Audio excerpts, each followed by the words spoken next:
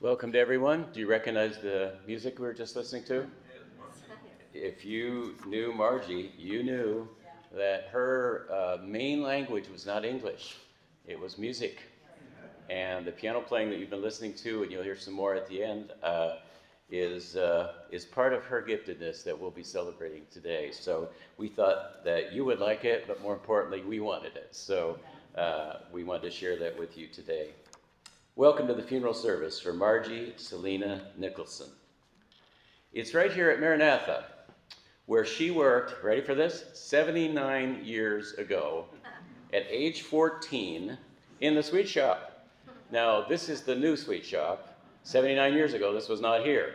Uh, the original sweet shop for some of us old timers was just over there near the road, and uh, I think the building wore out. Um, she didn't, though. She kept going. And, um, you know, she's come full circle. Is this wild? Uh, from the sweet shop at age 14 to uh, her heavenly home as we celebrate her here. In the words of the Apostle Paul, she fought the good fight, she finished the course, and she kept her faith. Her early earthly journey is over, and she is enjoying her heavenly home. In her final days, Margie kept asking us, Where am I going next?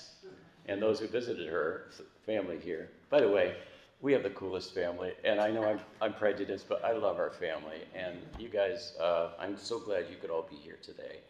Um, she kept saying, Where am I going next? Where am I going next? And I, I suppose I shouldn't say this, but I, I guess I've got the mic. Um, she said, Well, I don't want to go to another joint like this. so uh, we would say, my answer was, I think you're going to heaven next. And uh, I guess I was right. She now knows, and I'm sure she has no complaints. She can hear, she can see, she can walk. And I imagine that if Jesus came to her and said, What would you like to eat? She said, Onion rings and rhubarb pie, please. that was her favorite meal, right up to the end. Uh, today we want to honor Margie's life and to grieve together. And everyone grieves differently, of course. Some of you are ready to rejoice. Margie's in heaven. Let's celebrate. She's finally home, dancing on the streets of gold. Uh, wait a minute.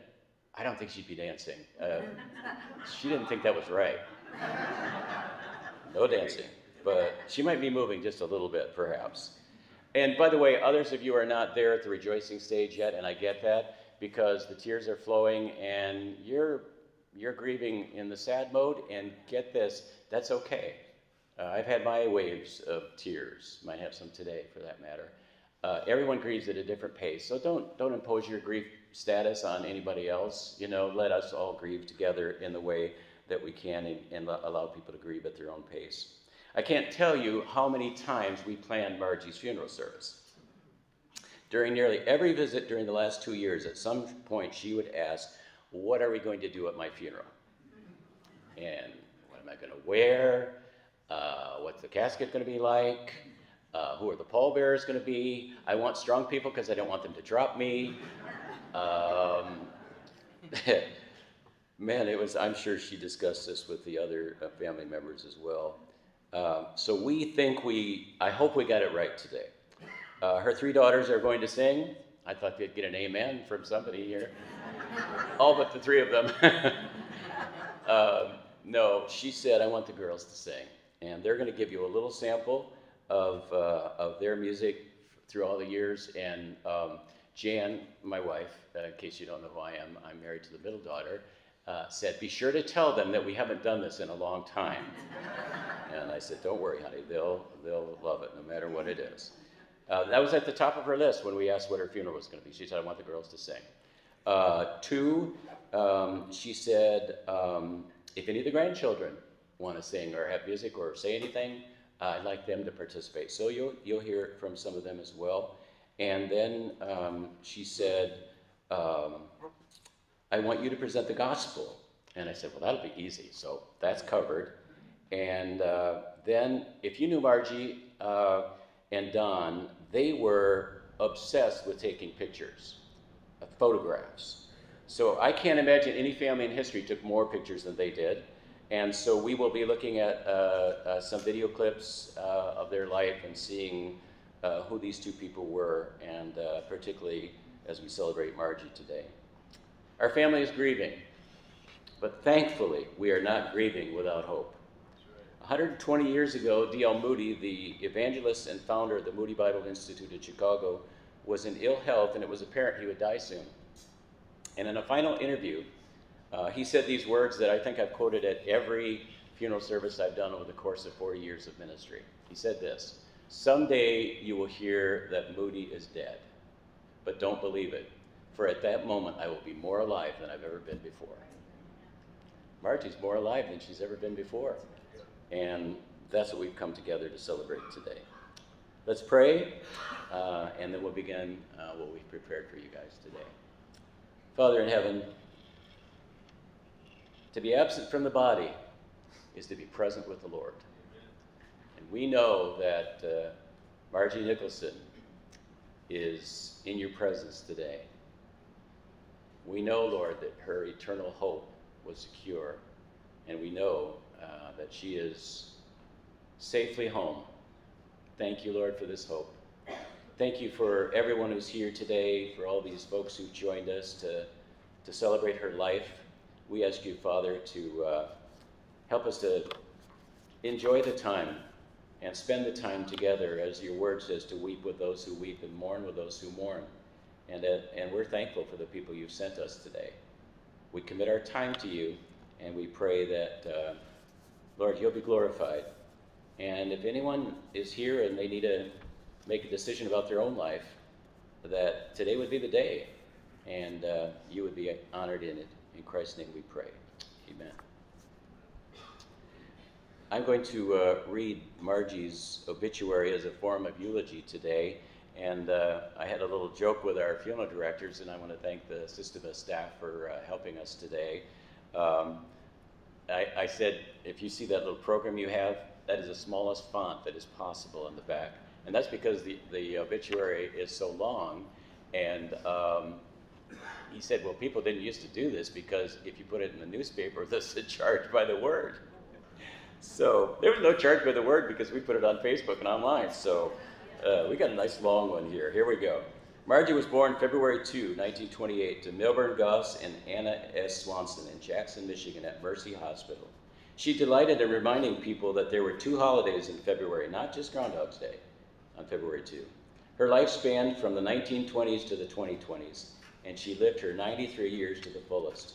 She lived in Stockbridge, Michigan as a little girl and acquired her love for horses and dislike of chicken on her grandparents' farm she'd always, when we suggested chickens, say, buck, buck, buck. no.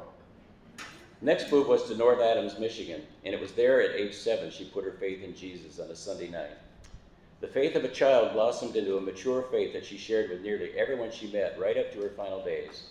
Milburn, Anna, and Margie eventually moved to Jackson, Michigan, where she attended and graduated from Jackson High School. In her younger years, Margie's musical ability to play the piano was revealed she always liked to tell people that her music teacher was Helen Griggs, the lady who wrote the little chorus, Gone, Gone, Gone, I'll Save You, We Won't Sing It. Margie was a precocious child and eventually attended Opportunity School, a school for gifted students. Margie then met the love of her life, Don Nicholson, in 1946. They ran in the same circles and shared faith and a heart for ministry. They married on April 3, 1948. Their love for the Lord led them to their involvement in their church, Memorial Baptist, which eventually became Cascades Baptist Church. They were an integral part of the building of that church. And they were involved in other ministries like CYC, Family Life Radio, the Breakfast Club in Florida, and of course, Maranatha Bible and Missionary Conference, where we're sitting today. Actually, Margie worked at Maranatha, as I've said, in the sweet shop at age 14 after her mother learned about it at church she thought it'd be great for Margie to work there, so she put her on a bus and sent her from Jackson to Muskegon. And that's, I know. Can you imagine today? Put her on a bus and off she goes. Sounds like a good idea. nice break for grandma, right? Uh, and that's when her love for Maranatha was birthed. Margie supported her husband Don in both ministry and work. Ministry included over 25 years leading music and choirs at their church she was usually at the piano or the organ. At rehearsals, she would play everyone's part if they needed it, and she would accompany well-known Christian artists who would sing or play at the church and various events. She accompanied a well-known pastor in evangelistic meetings throughout Michigan, And at the same time, she and Don started the kitchen shop with a friend, and it grew into a successful kitchen and bath design business. Behind every successful man is a strong, supportive woman. Margie was extroverted and fun loving. She never met a stranger. We can all remember waiting for Margie to finish a conversation with someone, standing and waiting and waiting. She made people feel special and loved wherever she went and would often just pick up the phone and call a friend because she needed to talk. Margie and Don also traveled the world together. In 1957, their first trip led them to Quito, Ecuador, helping the mission organization HCJB. And this was right after the uh, martyrdom of the five missionaries uh, there in, in Ecuador. They were one of the first people from the U.S. to go and minister to the missionaries there and, and, and those uh, who survived. We can't even remember all the places they went or the cruises they took. There are hundreds, no, no, no, thousands of photos to document their trips together. Once her traveling days were over, Margie loved to get out the old photo albums to relive their special moments around the world. And as an only child, Margie's family meant the world to her. You guys know that. She'd always ask by name how you were all doing. God blessed her and Don with three girls, Diane, Jan, and Sandy. Of course, with a musical talent like Margie for a mother, the girls were given piano, violin, French horn, and vocal lessons from an early age. And they also sang as a vocal trio from the time they were little girls, and Margie made them matching dresses and accompanied them at the piano to the delight of many audiences at church and beyond. Now, they don't, not wear those dresses today, just so you know. More than anything else, Margie loved Jesus, and she cherished her faith in him. She always wanted to know, do you trust in the Lord as your Savior? And she wanted to know when did you trust in the Lord as your Savior? This reminded us of her mother, Grandma Smith, who did the same thing. In fact, in one of her Bibles, she has a list of her children and grandchildren and what age they were when they were saved. That was really important to her. Margie's long earthly journey is over. She left Earth on June 21, 2021 at 3:58 p.m. and she is now enjoying her Heavenly Father and is reunited with her loved ones who are there to meet her. Perhaps she was asked to play the piano on her first night in heaven, as her music was clearly heavenly. Margie is survived by her children, Diane Nicholson, Jan and Bill Odemullen, Sandy and Greg Nineheis, her grandchildren, Dan Ewald, Sarah Ewald, Rachel and Anthony DiGiovanni, Rebecca Ewald, Betsy and Paul Phillips, Julie and Joe Patterson, and by her great-grandchildren, Isabella, Micaiah, Layla, Ava, Sadie, Alexis, Laney, Zane, Oliver, Wilhelmina, Connor, and Bridget. Amazing woman with an amazing story. And I think you are probably all thinking, can we have some music? Yes, we can. Uh, Margie's daughters are going to come and sing for us.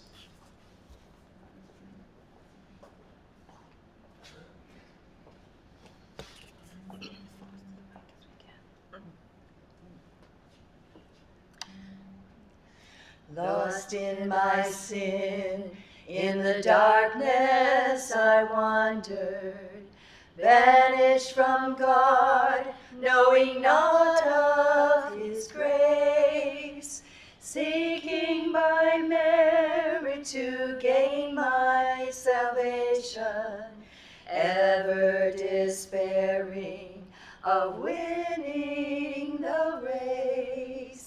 Now I am saved, I can shout hallelujah, saved from my sin and my pathway made bright.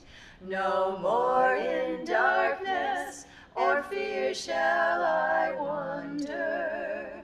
Jesus has scattered my gloom and my night.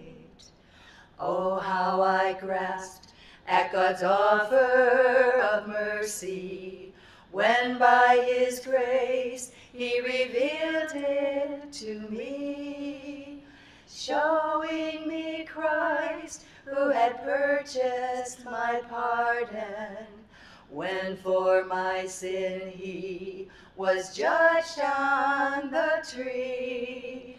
Now I am saved, I can shout hallelujah, saved from my sin, and my pathway made bright. No more in darkness or fear shall I wander. Jesus has scattered my gloom and my night. Jesus has scattered my gloom and my.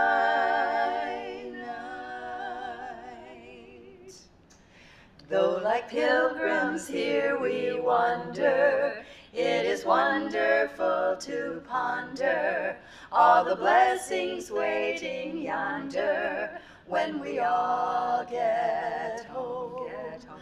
When we all get home, get home, never more to roam. To roam. What a day of glad rejoicing when we all get home.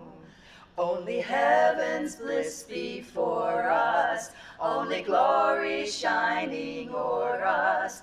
We will be a happy chorus when we all get home. Get home. When we all get home, get home. Never more to roam. To roam. What a day of glad rejoicing when we all get home. Praise the Lord, I've been invited to a meeting in the air. Jubilee, Jubilee. All the saints of all the ages in their glory will be there. Oh, I'm going to that happy Jubilee. Jubilee, Jubilee, Jubilee. Oh, I'm going to that happy Jubilee. With that glorious assembly dressed in garments pure and white. Jubilee, Jubilee. You will find me for I'm watching and my lamp is trimmed and bright. Oh, I'm going to that happy Jubilee. Jubilee, Jubilee, oh Jubilee, Jubilee. Oh, I'm going to that happy Jubilee. Oh, there'll be no debt to grieve us and there'll be no rent to pay. Jubilee, Jubilee. Underneath our vines and victories we will sing and shout for joy. Oh, I'm going to that happy Jubilee. Jubilee, Jubilee, oh Jubilee, Jubilee. Oh, I'm going to that happy Jubilee. Jubilee.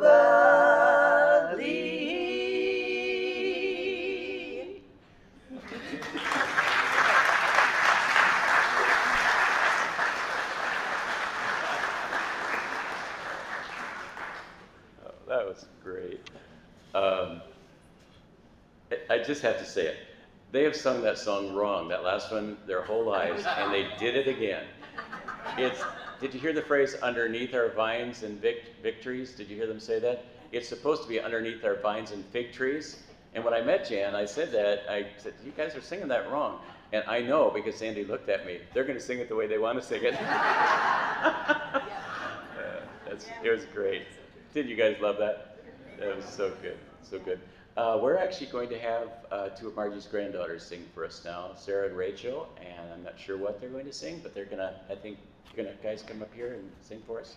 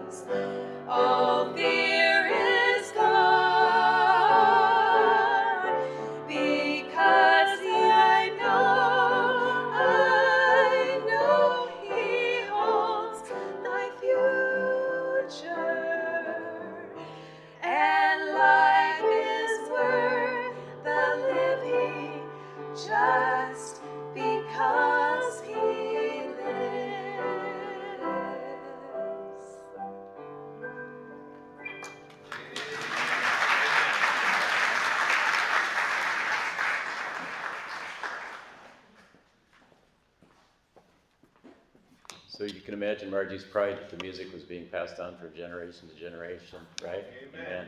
Really wonderful. Um, I've invited any of the family members who would like to share something, just a, a, a memory, a, a word, uh, a reflection on Margie to just come up. So you guys, whoever wants to do that, you just come up and join me right now, and uh, we'll uh, take just a few moments to hear from some others. Okay, Sandy? Anybody else want to come up? Let's. Mine's guess less it's- than two minutes, I Bill. guess, it, I guess it's us. It's just us. Margie Selena Nicholson, my mama. Mama was a real record keeper, and she kept books much like this one right here. And it sat by her side to record all kinds of events. If we had forgotten an injury, Mom had it recorded. If we had gone to the doctor, she knew that we had, and she recorded that as well. But uh, this was an entry that um, I saw in her book. And this basically states who my mother was. And quote, my goal, to each morning spend time with Jesus, reading my Bible and devotional books, and lifting up my, and she had it in quotations, friends list.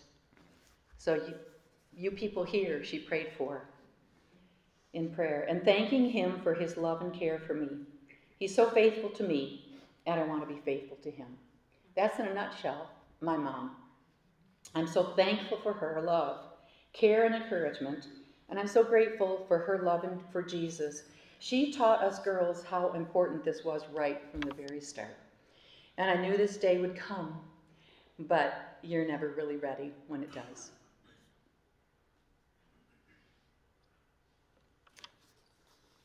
So I'm very excited that she's in heaven and she's finally home, where she's longed to be for so long. And I'm thankful that 65 years old ago today, she became my mother.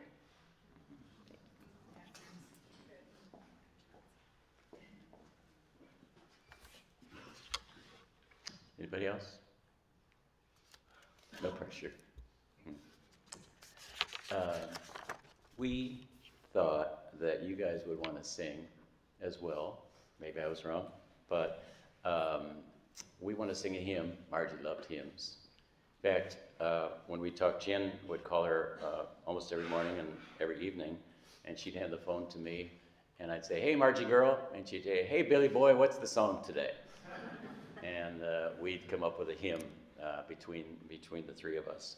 And um, she loved, and she would often just recite the words of the hymn. And when she was doing FaceTime, actually, we would try to sing the songs with her because she loved him so much.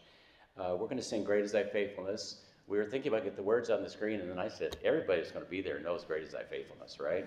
So we're going to sing two verses. Uh, the first verse that we all know, and then the second verse, Summer and Winter. I think I know the lyrics, but anyway, I'm not the leader guy here, so you guys need to really join me in this, okay? Diane's going to give us a cue on the piano, and we'll sing two verses.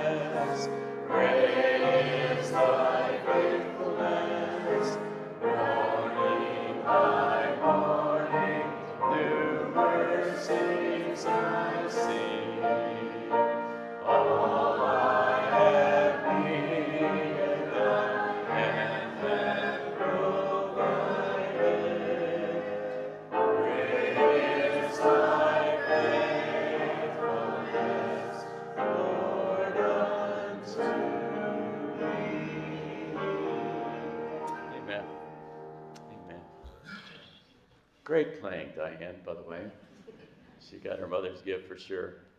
Um, Margie's oldest grandson, Dan, is uh, here today. Dan lives down in St. Louis, and he is a movie producer and a writer, and he goes all the way back to Danny the Clown Show, which I'm sure he didn't want me to mention to you, on PBS or some local channel. But um, he has scoured hours and hours of uh, video over uh, a pretty long period of time to come up with what you're going to see next. So you direct your attention to the screen.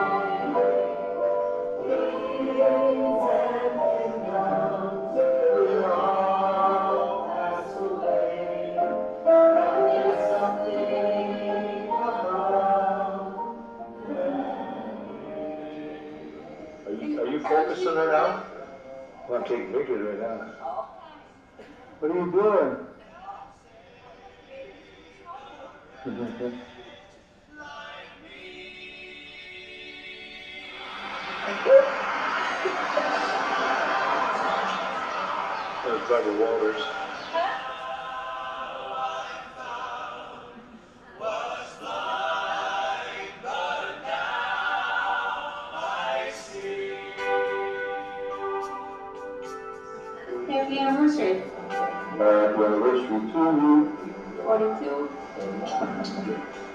Wish I had 421. Yeah, it's really neat.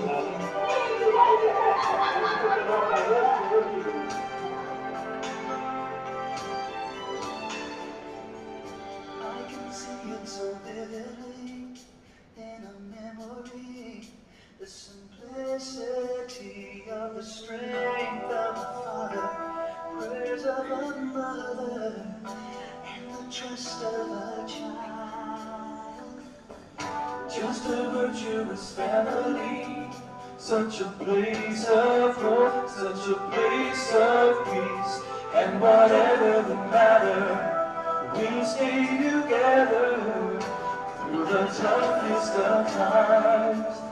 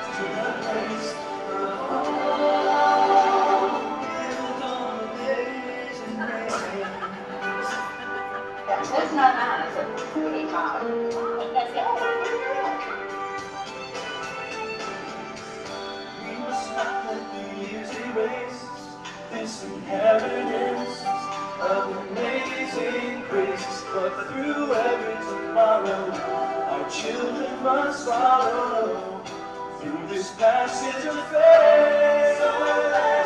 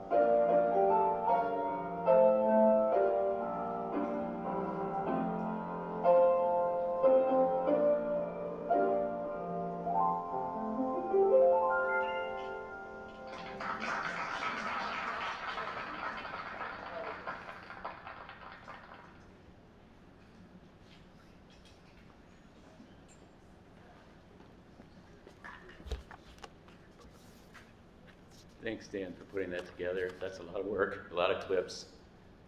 And uh, we'll forgive you for some of those pictures you showed of us. Eventually.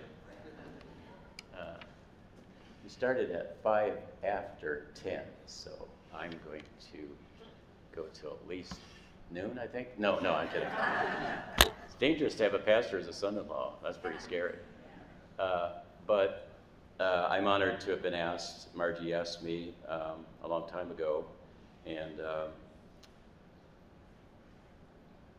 she impacted me uh, in ways that uh, I'll never be able to express to you guys or the family. Certainly through her daughter, uh, who is my wife, but. Um, I'm not sure I've ever met a more loving, generous person in my life. Margie loved to give. Uh, she loved to celebrate. She loved to laugh. So I like the clips where they were laughing. She and Don together were just the amazing team. Uh, and when he died, um, she didn't go into somber mode at all. Uh, she missed him for sure, but um, she continued uh, her life of joy and gladness all the way to the end. Two years ago, uh, Jan and I moved back from Colorado uh, because we looked at each other and said, Your mom's probably in the sunset years of her life, and for all of our ministry, uh, 35 years of them have been away from your family. And uh, if we can be there during this season, it would be an honor. And it has been. It really has been. Um, Margie had a life verse. And I don't know if that's in vogue at all today, but back during her growing up years, uh, Don had a life verse too. His was, uh, but God commended his love toward us, and that while we are yet sinners, Christ died for us, Romans 5 8. Margie's verse, uh, it's back on that little table back there. Uh, it, it's uh, 1 Samuel 12 24. Only fear the Lord and serve him with all of your heart, and consider what great things he has done for you. When she wasn't able to read the Bible anymore uh, because of her vision loss, um, I printed uh, that verse on a, a, piece of paper and I just brought it over one day to her and she said, I want this framed and can we put it on the wall so everybody who comes in my room sees it? And then she said, I don't even know why I chose that as my life verse, uh, but it expresses what I really want people to know about me. So uh, that's what I want to talk about with you guys a, service like this is certainly to remember, and we've done just a really fraction of all the remembering that we'll be doing over the next several days and weeks and, and months.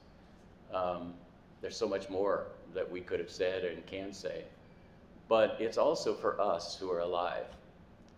And uh, it's, it's too late now for her to do anything else about life or her choices or her path.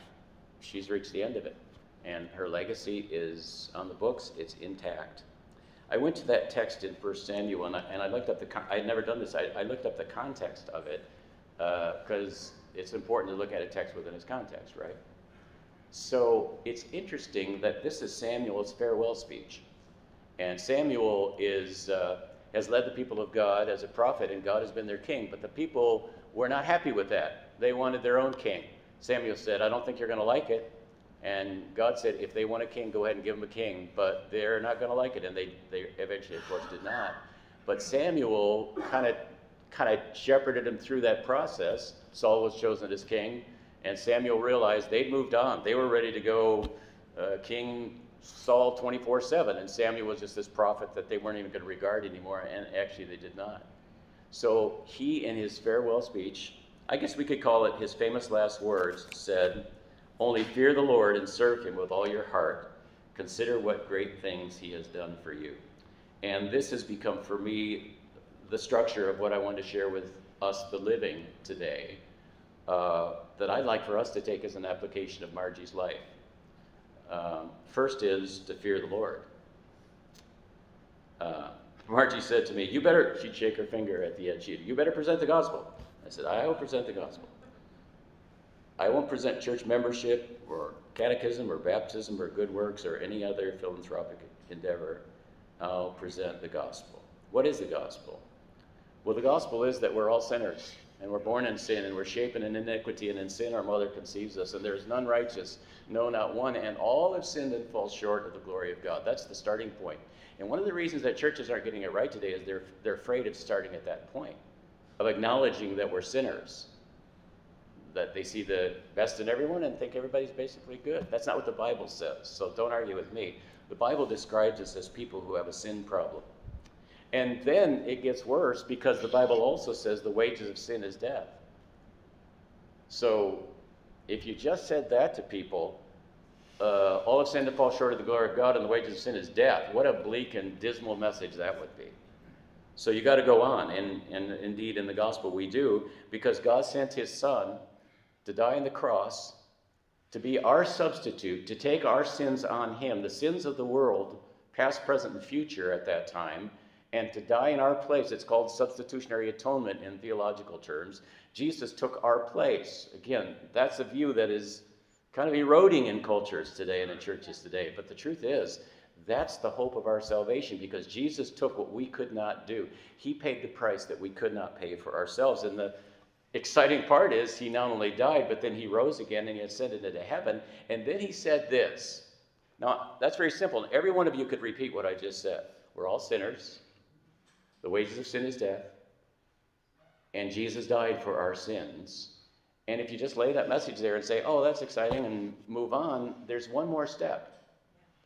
And it's the step that Paul and Silas told the Philippian jailer in Acts chapter 16 when uh, they had this great singing and praising God in prison and uh, a prayer meeting, and all of a sudden the, the people were praying, and the prison doors opened up, and the prisoners all ran away, and Paul and Silas were there, and the jailer comes over and he says, this is a great thing. He doesn't say, Don't run away. He says, Sirs, what must I do to be saved? And Paul said, It's so simple. He said, Believe on the Lord Jesus Christ, and you will be saved. So that's the gospel. We're all sinners. We need a Savior because the wages of sin is death. And, and God sent His Son, for God so loved the world that He gave His only begotten Son, that whosoever believeth in Him would not perish but have everlasting life. Did you hear it? That whosoever believeth in him would have everlasting life. One day, in, um, when Mar- Margie was still living in Marshall, uh, Jane and I had come to visit. We weren't living here at the time, and we were uh, we had gone over to Steak and Shake in Battle Creek, one of her favorite places to go, to get a burger. And uh, she's in the back seat of the car, and she says, "One of these days, I'd like to go to North Adams." Well, I'd never been to North Adams, and it was a Saturday, and we really didn't have a plan for the day. So uh, we said, well, let's drive there now. So we got on the highway and drove down to North Adams. I don't know if you've ever been there. It's just a tiny burg. I don't, not sure there's even a stoplight, but it's a tiny little rural Michigan city. And she said, I want to look at the church first. So we drove by the church that she went to, and it's a great story. We actually got to go into the church, and she got to ring the church bell. It was amazing. Some people just happened to be there, just happened to be there. And uh, we got in, and she was just in her glory. Oh, and and then there was a lady there that played the organ. So Margie went to the piano, and the lady played the organ, and they played a duet in the church, all spontaneous. It was great. But then she said, I want to drive by my house. And so we went just a street over and drove by her house, and we stopped the car, and she pointed up to the house, and she said, "See that room, that window right up there? That was my bedroom." And in June, she didn't know exact date, uh, but I found a little record in her Bible, one of the Bibles, on June 10, in 1935. She was living in that house with her mom and dad, and she had been to church. She had heard the gospel, just like I shared with you, very simply, over and over. And she said, I got up out of my bed, and I went to my mother, and I said, Mama, I want to accept Jesus as my Savior. And so my mama knelt with me in that house right there, and I received Jesus as my Savior. That's where I was saved. Her mother prayed with her, and in the simplest of all acts of life, she simply said, I believe in Jesus, and that transformed her life. Margie was, uh, she was a rather bold individual, and she would ask people all the time, Do you know the Lord? Just like that. I mean, just like I said it. Not, uh, it's a nice day, the weather's great. Uh, you know, what do you think about the president? And oh, yes, by the way, do you know the Lord? No, that was, in fact, one of the Facebook posts, uh, we've been following all of that because people have been writing in. One of her neighbors uh, said that, he said, Oh, yeah, I remember meeting your mom. The first time we came over to her house, the first thing she said to us is, Do you know the Lord? what a, what a, a wonderful witness she was. And the, the truth is, I want to ask you that question today. Do you know the Lord? And, and not do you know about him, and not do you have Bible verses memorized, and not did you go to church and Sunday school and whatever else you did, but do you know the Lord is your personal Savior? And I know Margie wanted that presented here today.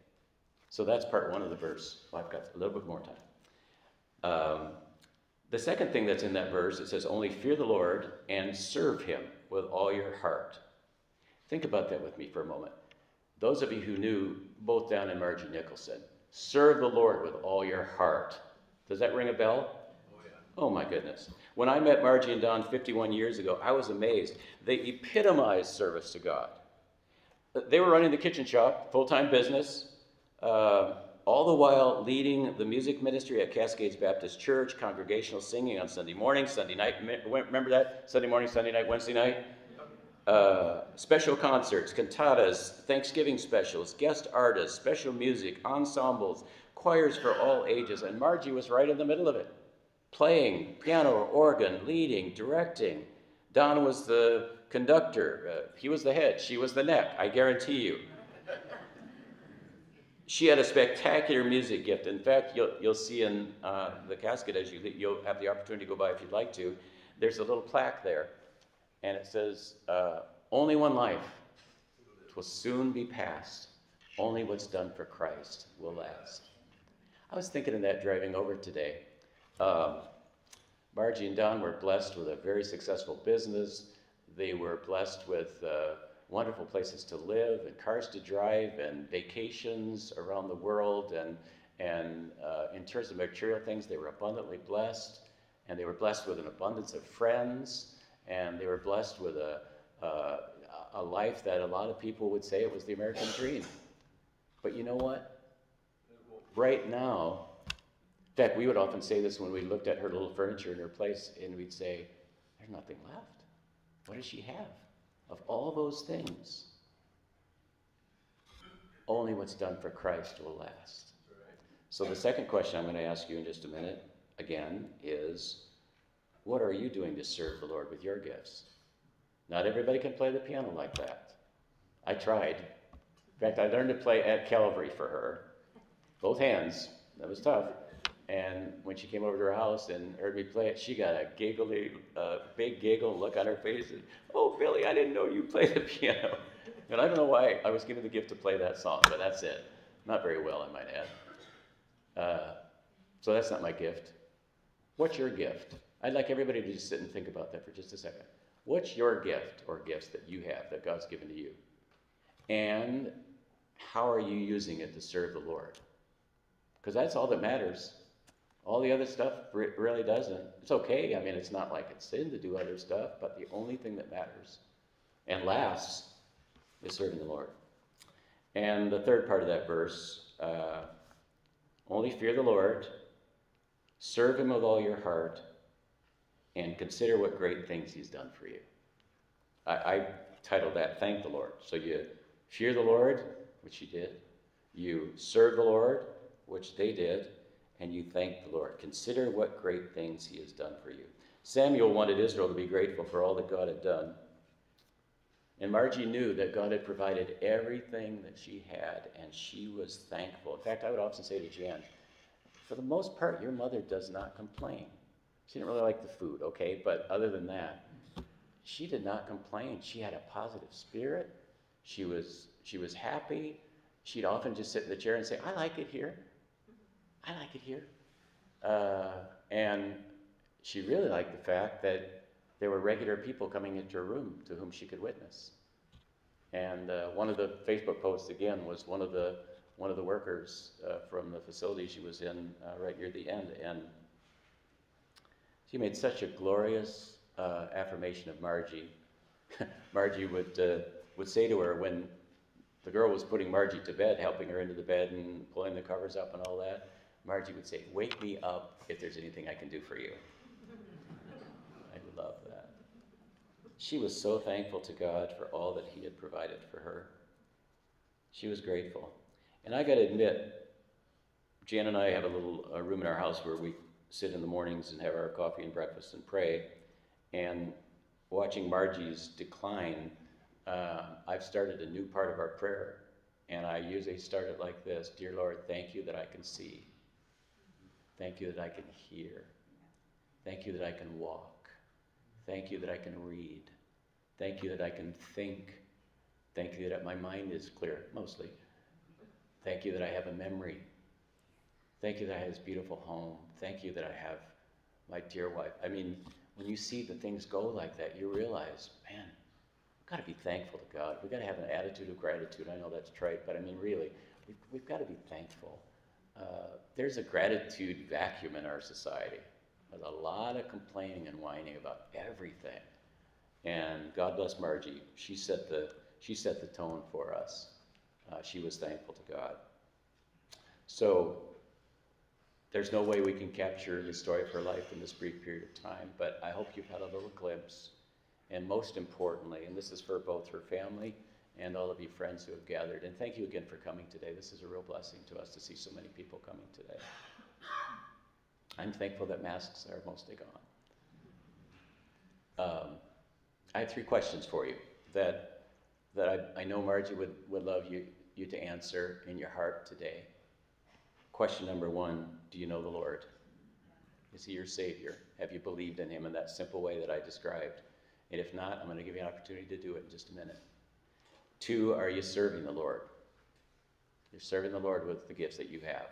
And you know, the great part about a funeral is it makes you get serious about life for a second and realize that nobody lives forever. I mean, there's an incoming for all of us. The statistics on death are impressive. It's one out of one. What are you doing to serve God? And third, uh, are you thankful to Him? Take some time today and thank God for the blessings, the way He's blessed you. And uh, I know everyone here has something for which you can be thankful today. Okay? Uh, let me close with this. oh, well, that's pretty close. Uh, my dad died back in 1980. He was 58 years old. He was diagnosed with uh, malignant melanoma uh, at age 57. He turned 58 during it, and then uh, six months later, he was gone. I was 30, and um, it was the first death that really rocked me. And uh, I still remember looking at his little brochure, and it had birth date, and then it, he was born in 1922, August, and then it had a dash, and then it had his death date. And I looked at that dash, Yes. and I said to myself, his dash was too short. Her dash is really long, 93 years, pretty, pretty long dash, right? But um, his was short, and then it, it was done. I mean, it was the end. So you all know your birth date, right? You know, I don't think anybody here knows your death date. Only God knows that. But you're all in your dash right now. Right, right. You're all in it. Each one of you. You're not in my dash. I'm not in your dash. We're all in our dash. And it's a great question to ask at the end of a funeral. What are you doing with your dash, right? What are you doing with your dash? Uh, we can't do anything about Margie's dash. It is now on the record. We have the death certificate. We know it's true. But your dash is still going. Don't squander it. Don't waste it. Okay? Let's pray together.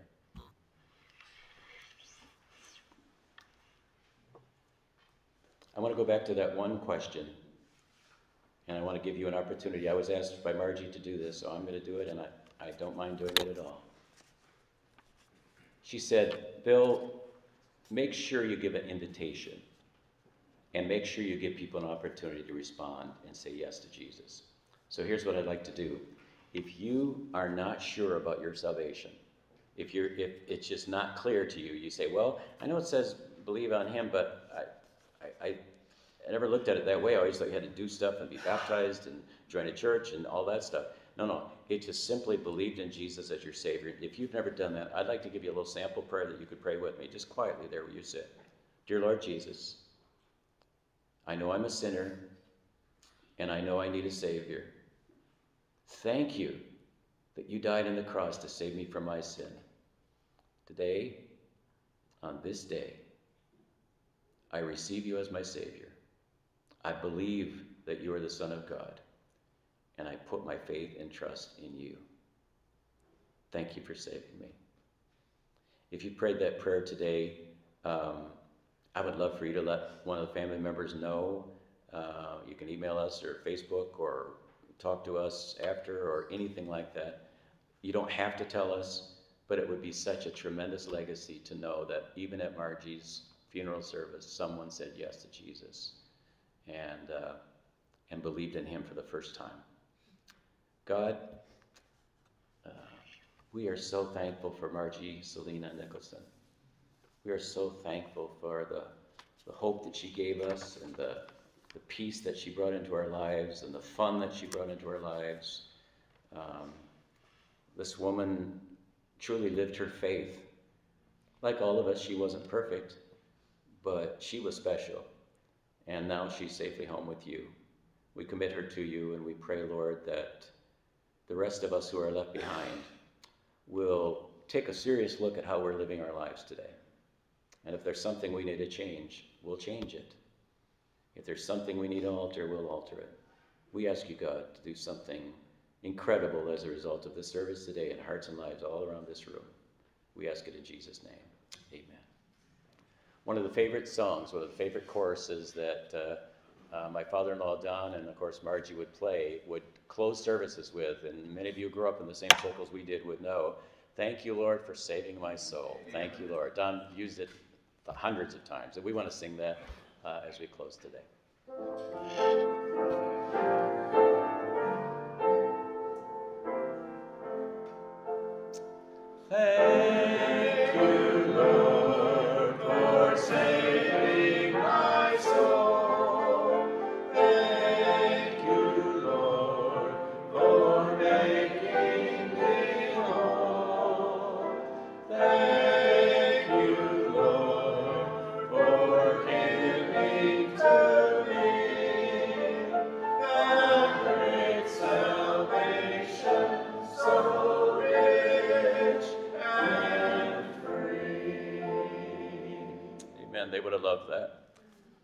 We have a closing song to play. Do we have a closing song to play? Did we get David Phelps or not? We didn't? Okay. Okay. Just want to make sure. Um, once again, thanks for coming. Um, in just a moment, the uh, funeral directors are going to come and dismiss you by rows, starting in the back. You'll have the opportunity to come by. You don't have to, but if you'd like to, and say a final farewell to uh, Margie's earth vehicle that is going to be put in the ground with the hope of her eventual resurrection. So we're not done with this body yet. Uh, and then um, you'll be ushered out. Uh, we need to be on the road uh, to head for Jackson. We're going to be doing the burial today as well, but we need to be leaving here no later than noon. So, although we'd love to talk to you, we probably won't have a long time. But if you do linger, we'd love to take a few minutes. I think you'll be ushered out that door so we can have some privacy in here as we close things off. So, once again, thanks for coming. God bless you all. And you have no idea the gift you've given us by coming today. So, thank you.